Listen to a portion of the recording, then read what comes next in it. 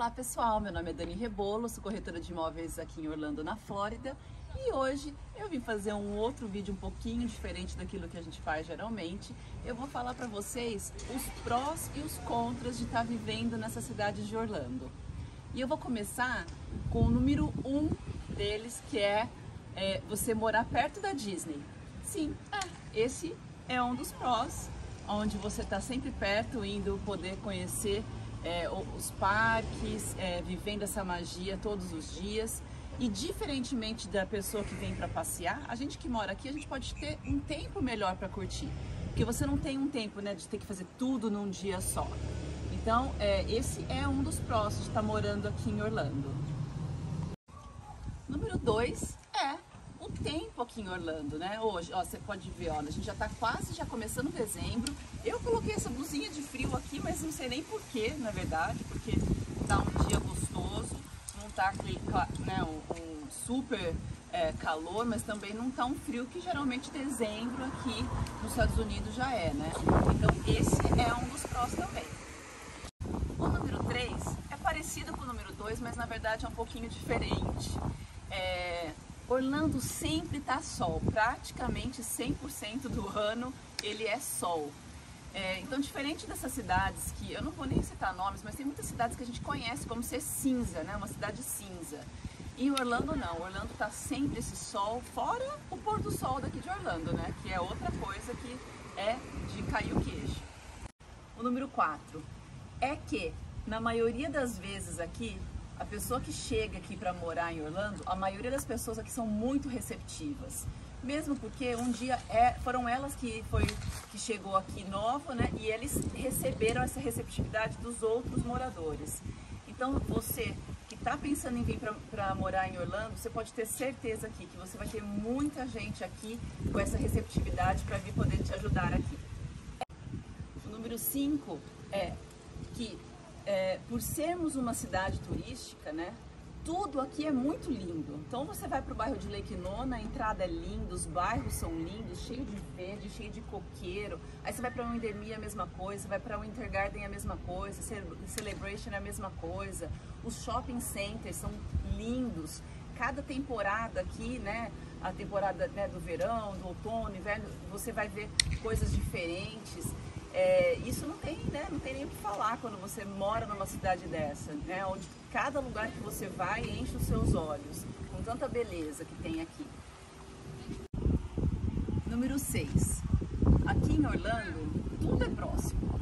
A menos de uma hora daqui você tem a praia, é, você tem parques com nascentes lindíssimas aqui para poder andar de, é, de caiaque, é, fazer stand-up. Você também tem milhões de restaurantes, assim, que é, que é considerado top mesmo, quatro, cinco estrelas, é, principalmente naquela área de, de Dr. Phillips. Então tem muito restaurante bom, tem muita coisa para fazer em Orlando, é, tem parque para você passear com a família. Realmente, assim, ó, nem tô falando de parque temático, tô falando parque tipo o Eola, né, o Lake Eola, que tem ali em downtown. É, tem realmente é muita coisa para você fazer todo ano, o que você quiser levar seus filhos para passear, aqui tem para fazer aqui bem próximo de Orlando. A sétima é, prós, né, e, e, a última que eu vou falar, mas com certeza tem mais, gente, mas esse é o último que eu vou falar de prós, é o céu de Orlando. Quem já veio para Orlando sabe do que eu estou falando. Por ser, por ser um lugar muito plano, então a gente tem mais horizonte para ver, né? E cada dia é um pôr do sol diferente, um mais lindo do que o outro. Eu viro e mexe, eu vou, eu ia postando. Tem hora que eu falo assim, ah, vou até parar de postar porque começa a ficar chato, né, pra pessoa que tá vendo todo dia. Eu postava um, um pôr do sol diferente, um pôr do sol lindo. É, então, assim, todo mundo que vem pra cá fala a mesma coisa. É, até inclusive quando a gente vai para Siesta Beach, que falam que é o, o, o, pôr do sol mais lindo que tem no mar, né? É, é, bem pertinho aqui também de Orlando. Então, sem dúvida nenhuma, esse é um dos melhores prós que eu acho aqui de Orlando. Agora a gente vai falar dos cons, né, de morar, dos contras de morar aqui em Orlando. Um deles é o verão.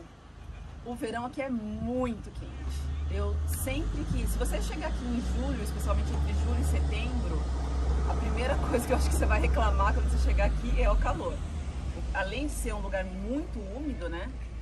O calor realmente, é, para quem mora, quem trabalha na rua, eu fico até com dó, porque realmente é muito quente. O número dois, que é de a parte contra de viver aqui em Orlando, é o trânsito.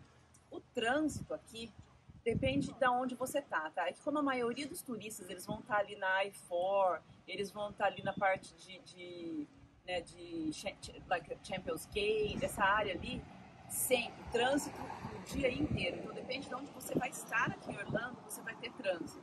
Também por se tornar uma cidade bem grande, tudo daqui é meia hora de distância para cada lugar. Então você sempre vai estar tá pegando trânsito. Claro que você sempre, como eu falei, dependendo de onde você vai estar. Tá. Mas o trânsito aqui é um dos contras, sim. O número 3 de contras de morar aqui em Orlando são os insetos e as criaturas que a gente encontra aqui em Orlando. Sim, é. A gente mora, na verdade, eu brinco, eu brincava com as pessoas, né, no, quando eu trabalhava no, no property management, que a gente mora em cima de um pântano. Né? Na Flórida, na verdade, era um pântano. Então nós é que estamos habitando no habitat deles natural. Então sim, é, você vai encontrar bastante inseto, bastante é, criaturas aqui ao redor quando você estiver morando. Por isso é muito importante você ter uma empresa de detetização cuidando da sua casa. Número 4 de contra de morar aqui em Orlando é, são os empregos de alta renda. É, por se tornar, né, por se tratar de uma cidade é, turística, então tem muitos empregos básicos aqui, por causa dos parques, parques temáticos, tudo, mas quando já é, a gente fala de um emprego de, de, de, uma renda mais alta, já é um lugar onde não é tão propício para você que está querendo, pensando em é, conseguir um trabalho com essa renda um pouco mais alta. Os cinco de contras de viver aqui em Orlando é que ter tantas coisas para fazer aqui em Orlando custa dinheiro. Então, se você não se programar certinho, você gasta todas as suas economias aqui mesmo em Orlando por ter tantas coisas para você fazer. Então, esse foi o vídeo de hoje. Eu quis fazer aqui nessa praça gostosa aqui é, em Lake Nona, para vocês verem que a maioria dos bairros tem lugares assim para você curtir você pode trazer, a gente trouxe a Chanel aqui para passear hoje aqui, ó. Eu já aproveitei e fiz um vídeo já para vocês. Então, eu espero que vocês tenham gostado. Não se esqueça de se inscrever aqui no meu canal, de, de curtir o vídeo e também compartilhar para os seus amigos, tá bom? Tchau, tchau!